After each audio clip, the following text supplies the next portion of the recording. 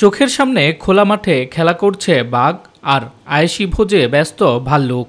এমন অসংখ্য পশু পাখি দেখতে তাই শিশু থেকে বৃদ্ধ, সব বয়সী মানুষ ঈদের আনন্দ উপভোগ করতে ছুটে এসেছেন গাজীপুরের ভাওয়াল বন ও বঙ্গবন্ধু শেখ মুজিবর সাফারি পার্কে।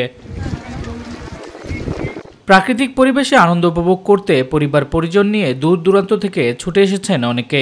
পার্কের ভিতরে ঘুরে ঘুরে দর্শনার্থীরা দেখছেন কুমির, জলস্থি মদনটাক উট পাখি, বিভিন্ন ধরনের সাপ ইগল ভুবন ছিল রঙিন মাছ। মাছ দেখলাম দেখলাম। সাফারি পার্কে আগের আগেও আসছিলাম ভবিষ্যতে তারা হয়তো ভালোভাবে কিছু করতে পারবে।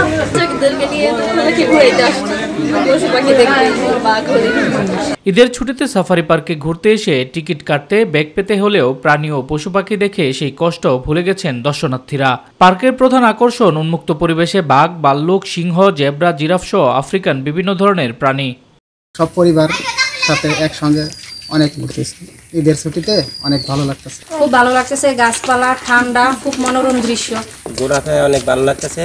আমাদের ফ্যামিলি নিয়ে আসছি সবাই আমরা আনন্দ উপভোগ করতেছি। এদিকে দর্শনার্থীদের নিরাপত্তা নিশ্চিতে সার্বক্ষণিকভাবে দায়িত্ব পালন করছে প্রশাসন ও বন কর্তৃপক্ষ।